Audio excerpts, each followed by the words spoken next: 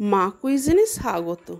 বন্ধুরা, আপনাদের সুবিধার্থে আজ আমি নিয়ে হাজির হলাম আজকে পিঠে বা সরা পিঠের রেসিপি এই রেসিপিটা স্কিপ না করে পুরোটা দেখুন।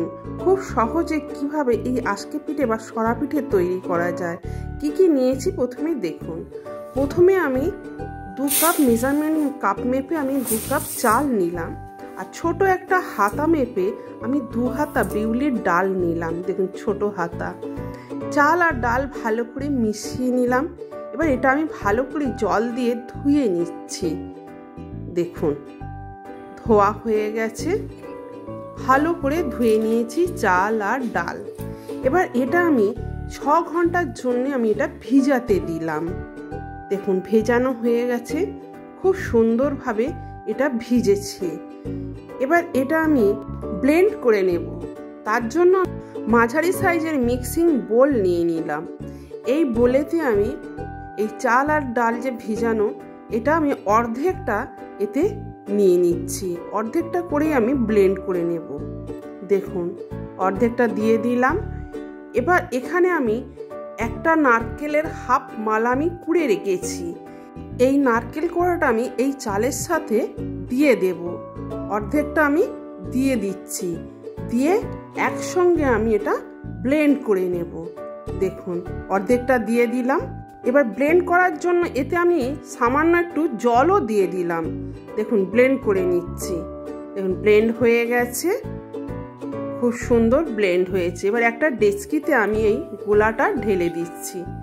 দেখুন, এইভাবে আমি আরও অর্ধেকটা আমি এইভাবে ব্লেন্ড করে নেব। একই প্রসেসে ব্লেন্ড করে নিলাম। বাকি চালটা আর নারকেল কোড়াটা। দেখুন আজকে পিঠের গোলাটা পুরোটা তৈরি হয়ে গেছে। এবার এতে আমি এক চামচ নুন দিয়ে ভালো করে গোলাটা গুলে নেব। দেখুন, এবার দেখুন গোলার কনসিস্টেন্সিটা দেখুন। ঠিক এইরকমভাবে। বেশি পাতলাও হবে না, বেশি গাঢ়ও হবে না। ঠিক এই রকমভাবেই তৈরি হবে। এবার এটা আমি রেখে দিলাম। এদিকে ওভেনে আমি মাটির একটা সরা গরম করতে বসিয়েছি।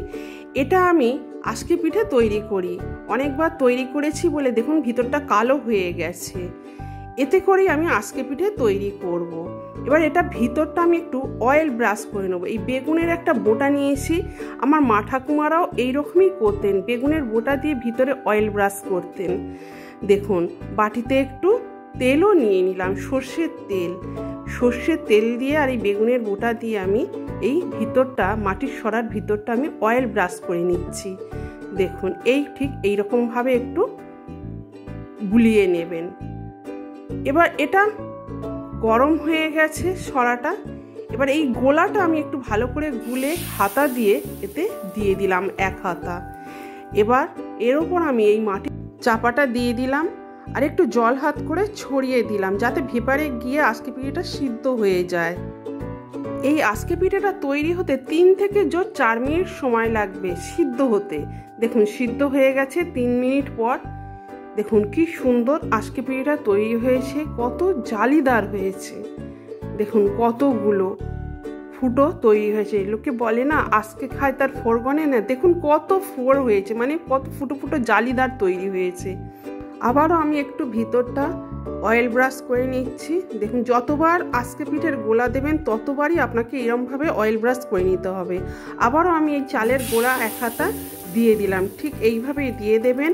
আর সরাটা চাপা দিয়ে আর একটু জল হাত করে এইরকমভাবে, ভেপারটা যাওয়ার জন্য জল হাত করে দিতে হবে।